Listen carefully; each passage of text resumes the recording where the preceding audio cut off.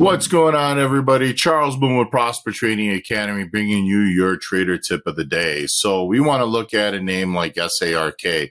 SARK has great upside potential. It could really start working its way towards the $70 price range. And there's a major gap fill right around the $73 uh, price. And anything above that level, we could see it really working towards that 80 mark. Now, if you're wondering what SARK is, it's actually the inverse ETF to the ARK funds. Basically, it is all growth names that are going to go down will cause this ETF to go up.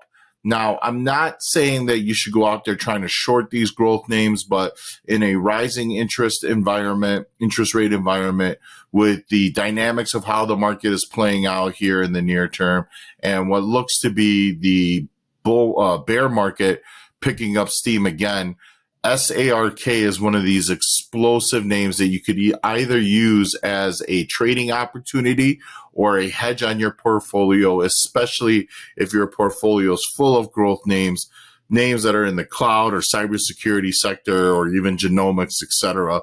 This is a great way to offset it. So SARK is starting to catch a bid. I'm looking for this breakout above 70. I'm looking for that gap fill to 73. And then, of course, if this market really gets ugly, I'm looking for that upward pro- progression up to that $80 mark. This is a must watch here in the near term. This is Charles Moon with Prosper Trading Academy, bringing you your trader tip of the day. Go to businessfirstam.com for where to see our show on TV.